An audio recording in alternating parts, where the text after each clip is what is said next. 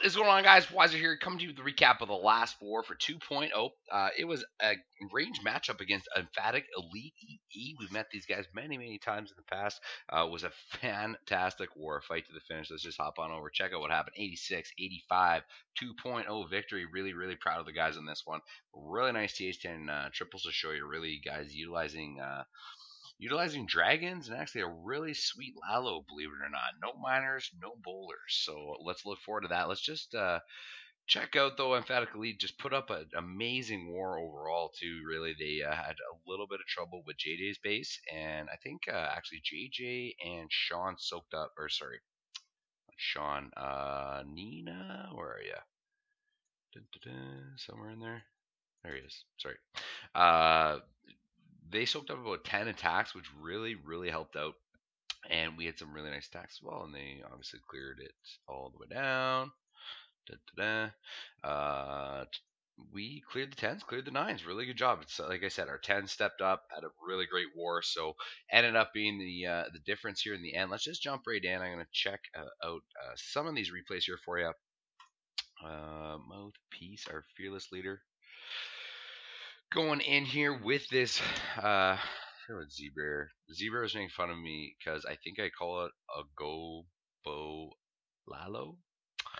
Uh, but whatever the hell. Uh, Z-Bear has really, really been uh, helping our clanmates uh, with this attack, and it basically it's a shattered, shattered uh, Lalo with bowlers, and you're going to get huge push into the base, uh, sort of a max attack style, using a lot of spells on the kill squad. Idea is you're going to get the bowlers into that core, take out a ton of air defense and a ton of other stuff in the process, and basically leave the rest of the base uh, for two two hounds and uh, you know 12 14 balloons. To make a big impact here see, see what i mean? These bowlers jumping in Queen's in behind, the double rage, the heal spell, keeping everything up. King's in there, hits that uh, ability finally. Gonna bust on through this wall. And look at everything that's down there. There's still two air defense up down here. But other than that, there's not a lot left to this base, and this bowler even steps up, takes care of the sweeper here in one second. Not that it's affecting any of the air attack whatsoever just got to get those balloons to all converge on this one air defense, and then everything. There's only a couple compartments to go, uh, and a bunch of trash. So MP just absolutely smashes it. Um, fearless leader showing us how it's done. Don't think he's lost any balloons yet at this point. Finally loses a few once that hound goes down, but that air defense goes down, trash goes down, and it's gonna be a treat in the bag for MP. Nice job, my friend. Boom.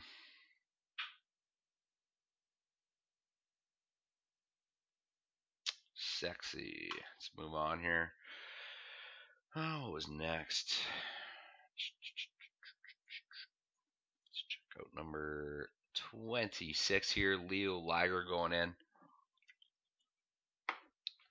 Same attack. And it's super powerful. And the idea behind it, guys, if you don't know yet, is you just got to figure out uh, the the normal aspects of a Shatter Lalo, right? You want to take care of the queen, you want to take care of the clan castle, but in the process, you want to be looking for a jump spell that unlocks a lot of air defense for bowlers. So, um, you know, just like we just saw MP jump those bowlers into the core, they didn't get he did, they didn't get quite the amount of air defense I guaranteed that he wanted, but it still turned out to be in his favor. Now, uh, Leo's going to go in here, drop a jump spell right over this uh, clan castle, essentially, open up a big chunk of his base, and really, um, the bowlers have access to pretty much all the air defense. I know these ones are way over here on this side, um, but, but, you're gonna see the kind of push that happens into this base. Queen goes in, everything's going down. Clan Castle goes down, right? Using those spells on the kill squad, getting big, big value. Second air defense is now down. Starts to deploy a couple balloons in there. Drops that lava hound. Everything's gonna start moving in. Haste spell is down. I'm going to throw all these balloons right on top of this Expo. Does great pathing for the balloons down here in this section. Rage spell down goes down at 9. Going to just blast through that section. All the balloons meet on this last air defense. It goes down, and really there's not much left of this base. A few Teslas, an Archer Tower, and a Wiz Tower on that back end. Uh, but it also has a haste spell plus two more balloons still to go here. It has to power through this stuff. There goes that haste. Couple back end balloons distract that Tesla. Boom, down goes the Whiz Tower. Doesn't get the burst on the Lava Hound even on this, and uh, on the second Lava Hound, I should say, and still just smashes it. Nice job, Leo. Three stars. Um, all right. What was I gonna show next? So I want to show this stack of mine. Um, I've been talking about this blue velar. I mean, the, the go this a stone hobo and uh, this uh, uh, go bow lalo, whatever the hell you want to call it, um, are very very predominant at nine. I'm really loving this velar, and I find more and more as I talk about it. Not a lot of people, you know, I post sketches and everyone's like, um, okay. So the idea here is I'm looking at air defense and I knew just kind of walking this queen into this section, I wanted with that army camp there, I was going to push her down, take out that defense queen, exactly like everything's going down, lure the clan castle out with the hogs here. Air defense goes down in the process as well. Early poison on the Valks. Just to be safe, I ended up burning the ability here. Uh, I I didn't really see need. I figured as long as they survive this this part right here, or she survived, I should say, my queen, uh, then she was going to be good to go because there's no air defense really to touch her uh, healers on the outside. So let's go ahead and I drop some bowlers with three more healers. I brought seven healers to this raid. Valk's in on these breadcrumbs right over here. I know they're going to stand at this wall and go right after this air defense next, as long as these buildings were down over here. Bowlers ended up kind of converging as well and helping things out. And Valks are now just going to go through this base. So really, I've only used the one rage on the queen, so I now have two heals and this rage I just dropped for the Valks. They're going to absolutely smash through this stuff. First heal goes down. They do do a split here you just really want to keep the Valks healed long enough to get into the sort of last sections of the base um, I was also beneficial here because the uh, healers end up locking onto the Valks, which are taking all the damage, while the bowlers do the damage, uh, do the funnel or the uh, cleanup work on the outside. End up sending in a couple hogs here. Um, I want to send them on this Tesla, but one goes to the mortar. Doesn't really matter. Queen, I was a little concerned at this point, but uh, she takes down that stuff just in time. Other hog is now in right on that cannon. They don't quite get this stuff down, but uh, everything is just sort of converging. I still have all these Valks at full health because of the healers locking onto them. Uh, really, at this point, the base does not stand a chance, right? And notice I still have so many healers. Like the mines really did not do a thing. Uh, big piece is if you if you do plan well with this attack and keep your healers alive, there's just so much healing for everything. It doesn't matter. Like by the time everything sort of converges together on the end, it's just ridiculous how how powerful that that attack is. Anyways, uh, I think it is very underused because really all I'm seeing uh, at Town Hall Nine right now is these um, sort of stone entries or even just old school attacks still with bowlers in the CC, but um, I'm finding you don't even really need hogs. They're so fragile. Just rely on the Valks and keep them healed, keep them raged, and you're good to go.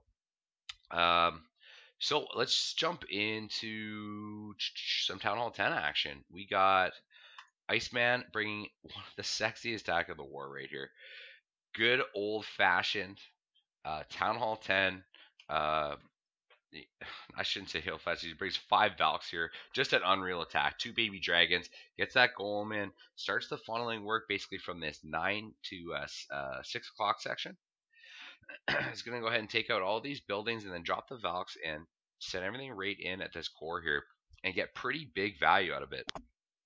Leaving uh, the Lava Hounds and a bunch of balloons for the back end. Oh, excuse me. So just really letting this play out. I like that. The golem was not taking a lot of point defense. I think only a couple point defense there at once. So it is still at very much a lot of health. Uh, out comes a P.E.K.K.A. and a baby dragon of the CC. Poison's going to make short work of that. All the Valks are going to run right in, take her the P.E.K.K.A., take her the Queen. Um, uh, needs another second. The double poison. Actually, I believe this in this attack, the baby dragon gets away here. He doesn't even die because the queen goes for a little bit of a little bit of a walk here around the nine o'clock. Uh, I know he didn't want that, but see how she ended up. I can't believe she didn't target that lab, but ends up stepping up and being a hero and taking care of that air defense. That was really the most important thing. You can go ahead and start this first lava hound in now. Uh, straight out of the CC. Balloon's going to converge and just wants to get everything hasted in right on top of this Expo. See this uh, this baby drag gets gets loose. Doesn't matter. I think a pops are a couple pops are going to take care of it here in one second. They don't quite get it there. I know they do a little bit later in the raid here. Rage spell down goes down at the 12 o'clock with a haste. All those balloons are moving very quickly through all those defenses. Even though that baby drag's in there trying to do work, the air defense is blasting away. Just too many balloons at this point. Last four balloons go down right around this 3 o'clock with that haste spell. I'm going to push everything into this last section of compartments. Boom. There goes that haste. Down goes the sweeper. Down goes the inferno. His base is G G at this point, right? Pups all over. Brings minions for this far, far back end. Just absolute awesome raid here, Ice.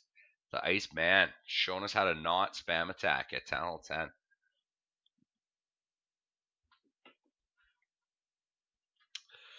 Kablam. Tree in the bag. That was a big one. I think that was the attack of the war. Uh, 13. Tam Jam.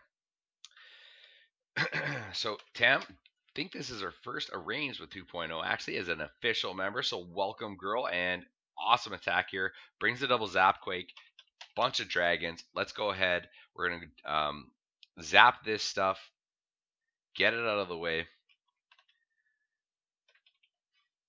Boom, boom, boom. Down it goes. So see you later, air defense. There is now only two air defense remaining. Uh, so really all she wants to do is take care of some buildings, get a funnel created, jump in and take out this air defense. Um, and then she can drop her dragons, I believe, uh, on the opposite side. Sorry, I guess. Uh, so she's going to funnel the dragons in at this air defense, and I believe sends in the king and queen down here. So income the nine dragons, just like just a good sweep. Um, you don't have to worry about the clan castle don't really have to worry about the queen. In fact, you can kind of use the queen as an anchor because you know wherever she she sort of hops out, you're going to get um, the dragons pulled over to that section. Uh, so you can kind of use her to your advantage if you plan it properly. Uh, so these dragons now kind of going to the outside. They're just going to work their way around in a clockwise rotation. Still has a couple in here that just get this Inferno Tower. Does perfect job with that. Sends in a drag and a couple loons now at this one. Just going to sort of get, like I said, the two pincer attack. Um, get get some units going clockwise, some units going counterclockwise. Everything's going to meet up in the middle. That kill squad did their job, took care of that last air defense there. Queen's in there, still full health with the ability as well. That is big news because she's going to start blasting through the rest of this stuff. Got a few drags in the core. So really needs to work through this nine o'clock section with before this Inferno Tower takes out the dragons. And that's why they're so powerful at Town Hall 10, guys. A max drag, a level three Inferno. Watch how how slowly it kills. Oh my bad. Watch how slowly it kills these dragons. Like they just last forever against it. So as long as you can get the pathing out of the way and they don't um, they don't really really wander a lot while they're in range. They they're just going to rip through Inferno Towers. So I believe that is a, a, very very awesome awesome strat here these days. I mean everyone's talking about the spam attacks. Well, I mean I guess nine dragons is I wouldn't want to call that a spam attack because it's only nine units. It's not 40 miners. Um, but it, you have to take care of a lot of certain sections. You have to know what your pathing is. It's it's very very important to know exactly what your dragons are going to do in these kind of raids. So finally, the Tesla goes down. And that's a tree in the bag for Tammy. Welcome to 2.0. Great war, girl. That was huge. So 12. Iceman, six pack. Brought a Lalo this last time. He's going to bring dragons this time. So very similar attack. Double Zap Quake with dragons. Going to get good value out of the kill squad. And then just send the dragons in and, and funnel them properly in at the, the remaining side of the base. And G, G, right? Double Zap Quake is down. Still has a rage in the bag he's going to use here. Dragons go down. Sorry, baby dragons go down, rather.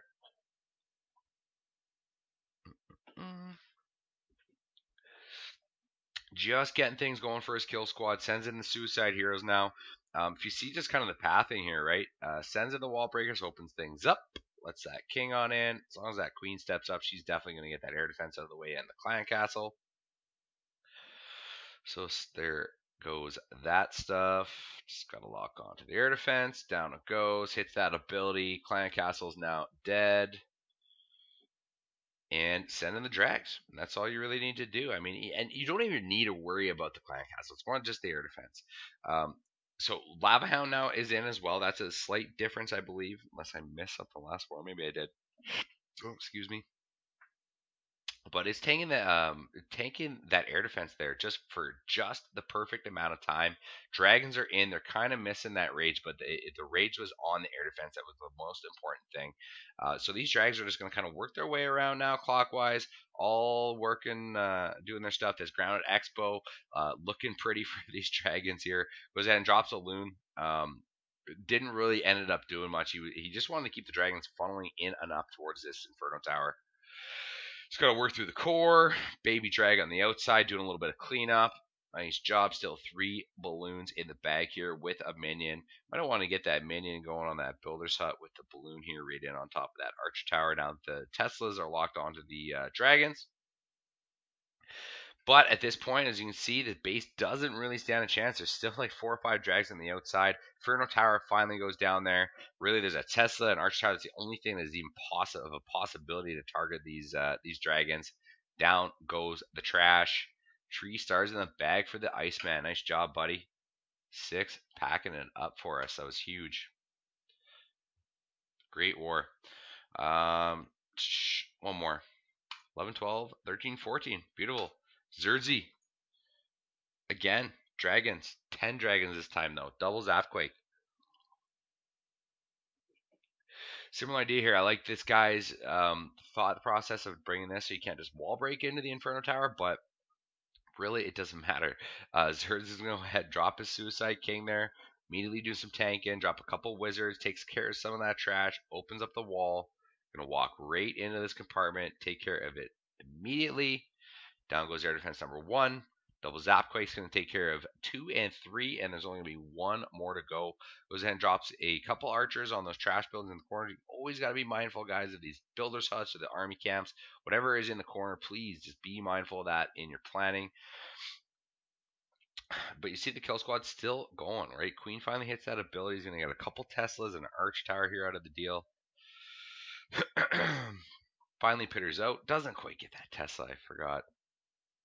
Uh, bomb comes up, takes care of a couple of the dragons, but see what I mean? The the Inferno Towers do not do anything really. They take so long to kill drags. So as long as uh, as long as there's not a high hit point uh, stuff that they're going to be stuck on for a very extended amount of time, as long as those expos are grounded, those are a big piece of this raid as well. When you have grounded expos, you're leaving yourself open to these dragon attacks. Because um, even with the expos up, it is very difficult to defend it. But Zers is just ripping through this base, getting good value on those balloons, dropping them very slowly, helping the dragons out, taking out these point defenses one at a time. And give us a bit of fast forwards. These drags are nice and slow, but as you can see, everything's going to start converging on this final Inferno Tower because it's going to take so long to kill it. Boom, got a balloon drop off on that, couple more puffs from that dragon's breath, and it is done for. Just got to clean up the base now. It's really Wizard Tower is obviously not going to kill three dragons. There's no chance in hell. And that, my friends, is a treat start in the bag for Zerds. Beautiful. Bam. So very, very good war. Insane good effort at all uh, all town hall levels coming from our side. Uh, you know, we're really put together uh, a good effort here. Uh, hats off to the war generals here. They uh, a lot of good communication, a lot of adjustments on the fly to targets and whatnot. So, uh, Elite, thank you very much for the wonderful war. Always a pleasure, guys.